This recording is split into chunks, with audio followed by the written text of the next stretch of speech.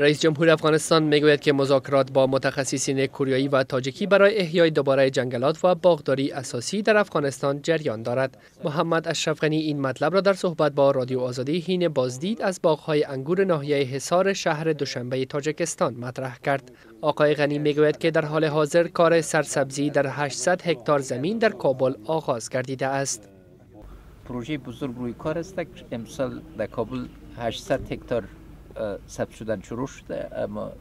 امر متخصصین کوریایی در حال مذاکره هستیم چون کوریا تجربه بسیار موفق داشت. در این تاجیکستان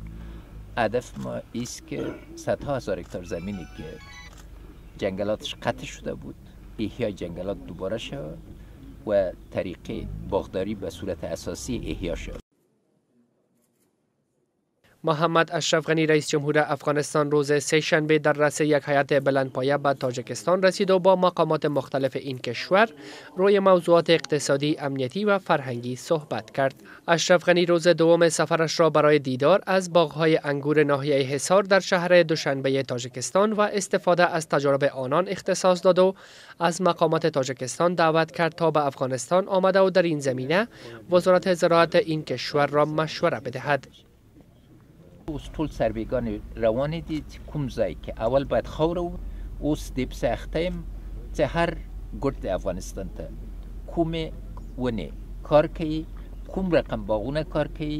پنځه رقم ونه چې زر نتیجې ته ورسیږي څلور درې او پنځه کالو کې پنځه بعد لس کالو ته دی باندې په کار یو حالا اینکه جنگلات و باغهای افغانستان چی زمان احیای دوباره خواهد شد و حکومت برای حل مشکلات زارعین چی خواهد کرد گذشته زمان پاسخ آن را خواهد داد.